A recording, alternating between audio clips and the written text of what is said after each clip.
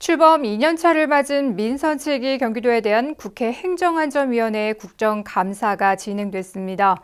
아프리카 돼지열병의 남하를 막기 위해 방역 활동에 총력을 다하고 있는 경기도를 향한 응원과 격려가 이어졌습니다.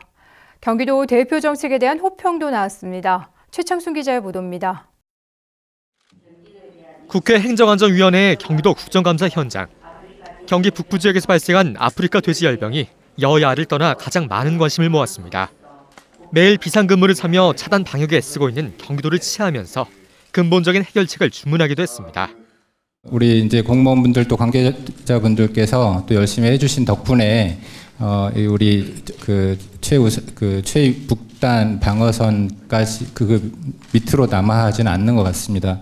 어, 감사드리고요. 저는 경기도가 그래도 뭐 여유도 좀 있고 이렇게 모든 걸 선두로 가시니까 좀 이 백신 생산하는데 손을 좀 댔으면 좋겠다는 네. 제가 주문하고 싶은 거는 저도 사실은 그러고 싶습니다. 경기도가 전국 최초로 도입한 24시간 응급의료 전용 닥터 헬기는 호평을 받았습니다. 닥터 헬기 부분 잘하셨어요. 그 부분은 네, 아무튼 감사합니다. 여력이 되면은 능력 있는 의사한테 그다음에 일할 수 있는 자리를 마련해주고 장비를 제공해주는 것은 우리가 가야 될 길이다. 투입 비용은 실제로 엄청납니다. 에, 인력도 상당히 많이 필요하고 한데 그래서 저희가 이제 상징적으로라도 사람의 생명의 가치가 얼마나 소중한지를 보여주는 측면에서는 좀 확대할 필요가 있다고 생각합니다. 감사합니다. 노인 복지 정책 중 홀몸 어르신 365일 햇빛쬐기 사업은 성과가 좋다며 전국적으로 확대해야 한다는 의견이 나왔습니다.